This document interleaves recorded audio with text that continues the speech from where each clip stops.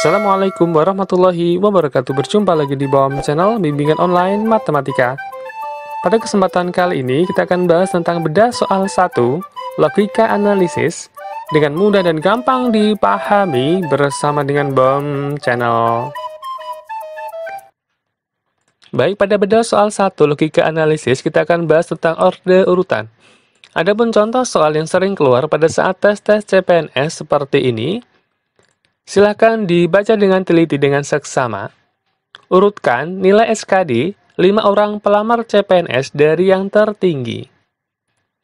Adapun teknik yang kita gunakan dalam menyelesaikan permasalahan seperti ini, yaitu bom teknik, dengan cara sistem lidi. Artinya, nilai seseorang kita akan misalkan suatu lidi. Baik, kita akan selesaikan. Nilai Adi lebih tinggi daripada Rudi. Kita akan buat lidi, tentunya Adi dan Rudi. Adi lebih tinggi.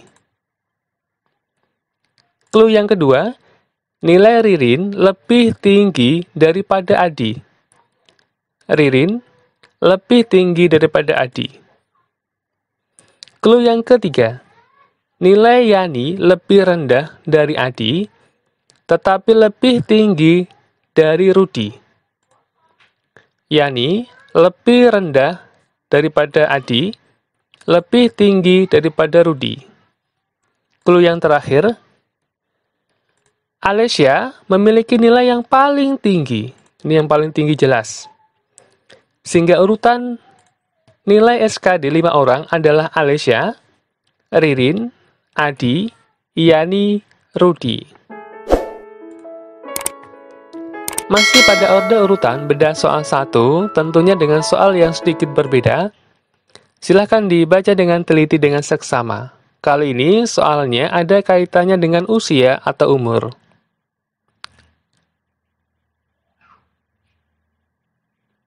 Baik, kita akan selesaikan dengan cara bom tekniknya adalah sistem lidi. Kali ini lidi mewakili usia. Yang pertama, Asih lebih tua dari Budi. Asih Budi, Asih lebih tua daripada Budi. Kemudian, kita akan cari kalimat lain yang ada kaitannya dengan Asih maupun Budi. Yaitu, Budi lebih tua daripada Sari. Artinya, Sari itu lebih muda daripada Budi. Berikutnya, kita akan mencari kalimat yang ada kaitannya dengan Sari, Budi, Asih. Asih lebih muda dari Dina. Artinya Dina lebih tua daripada AC.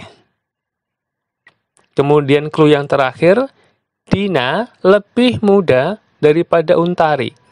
Artinya, Untari ini lebih tua daripada Dina. Kesimpulannya, di antara kelima anak, manakah yang paling tua? Tentunya yang paling tua adalah Untari. Baik, untuk soal berikutnya masih terkait dengan orde urutan, silakan dibaca dengan teliti dengan seksama. Kita akan baca sama-sama. Enam mahasiswa duduk berurutan dalam ujian wawancara. Tini tidak bersebelahan dengan Salim atau Tia. Nila duduk di dekat Tia. Tini duduk di dekat Jufri. Dan Jufri duduk di sebelah Nila. Salim tidak ingin didahului Harto dan Harto bersebelahan dengan Tini. Tia duduk di urutan terakhir. Pertanyaannya, siapakah yang duduk di urutan kedua? Sepintas soal seperti ini tergolong susah. Tapi sebenarnya ini adalah soal-soal yang mudah yang memberikan kita nilai. Bom teknik yang kita gunakan adalah Temukan satu kalimat kunci. Kita akan menemukan satu kalimat kunci, tapi sebelumnya kita akan buat dulu urutan tempat duduk. Awal, satu, kemudian akhir kita misalkan 6. Kalimat kuncinya adalah Tia duduk di urutan terakhir. Ini sudah pasti. Tia. Kemudian kita akan mencari kalimat lain yang ada kaitannya dengan Tia, yaitu Nila duduk di dekat Tia. Artinya, ini dia nilai. Berikutnya kita akan cari kalimat lain yang ada kaitannya dengan Nila dan Tia. Jufri duduk di sebelah Nila. Jufri. Berikutnya, Tini duduk di dekat Jufri. Tini. Selanjutnya, Harto bersebelahan dengan Tini. Kemudian, artinya Duduk yang paling depan, yang paling awal adalah Salim. Siapakah yang duduk di urutan kedua? Yaitu Herto.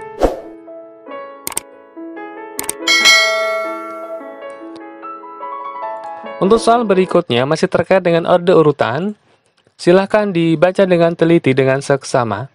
Dalam suatu antrian, Ali di belakang Beni Cici di depan Denny. Denny hanya bisa di urutan keempat atau terakhir. Erna ada di depan Ali dan hanya dipisahkan oleh dua orang lainnya. Jika Denny mengantri di urutan keempat, yang mungkin antri di belakang Denny adalah Baik, kita akan selesaikan dengan bom teknik. Kita akan ilustrasikan suatu urutan antrian depan belakang ada enam peserta. Kalimat kuncinya, jika Denny mengantri di urutan keempat. Artinya empat ini diisi oleh Denny. Kemudian kita akan mencari suatu kalimat yang ada kaitannya dengan Denny. Cici di depan Denny. Artinya, Cici tidak mungkin di belakang Denny. Sehingga, opsi jawaban yang ada cicinya adalah salah karena pertanyaannya adalah yang mungkin antri di belakang Denny. Padahal Cici di depan Denny. A salah, B salah, E salah. Berikutnya, Erna ada di depan Ali dan hanya dipisahkan oleh dua orang lainnya. Artinya, kita akan misalkan Ali pada nomor 5 dipisahkan oleh dua orang, kemudian Erna nomor dua. Jika Ali nomor 6, maka Erna nomor 3. Artinya apa? Erna ini selalu di depannya Denny. Sehingga option yang ada Ernanya adalah option yang salah. Sehingga jawaban yang benar adalah yang C. Ali, Jamal, Benny. Selanjutnya, masih terkait dengan soal sebelumnya terkait dengan urutan antrian. Bila Cici berada pada urutan kelima, yang mungkin berada di urutan terdepan adalah Keluhnya, silakan dibaca dengan teliti, kemudian temukan kalimat kuncinya. Tentunya, Cici berada pada urutan kelima. Nomor lima diisi Cici. Kemudian, kita akan cari kalimat yang ada kaitannya dengan Cici. Cici di depan Denny. Berikutnya, dari nomor 1, 3, 4, katakanlah nomor 3, Denny hanya bisa di urutan keempat atau terakhir. Sudah pasti, Denny di urutan terakhir. Kemudian, 4, Erna ada di depan Ali dan hanya dipisahkan oleh dua orang lainnya.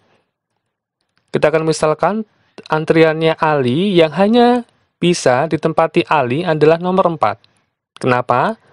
Karena Erna dipisahkan dua orang. Artinya, yang mungkin berada di urutan terdepan adalah Erna. Demikianlah tadi pembahasan singkat tentang bedah soal 1, logika analisis, dengan mudah dan gampang dipahami bersama dengan BOM Channel. Terima kasih untuk like, share, dan subscribe-nya. Akhir kata, wassalamualaikum warahmatullahi wabarakatuh.